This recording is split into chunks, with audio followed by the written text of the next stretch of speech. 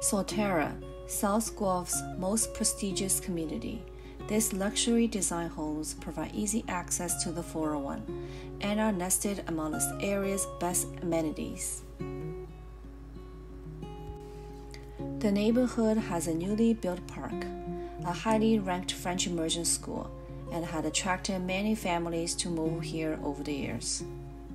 Solterra will be building more 50 foot lot homes along McAllister Boulevard and Ambrose Crescent. The homes are back to trail with deep lots. There are five models to choose from with up to 4,000 square footage. Those big lot homes are hard to come by in this most desired neighborhood. At the comfort of your own home, you get to enjoy the breathtaking view the nature has for you. Make this your dream home and contact me today to reserve your lot.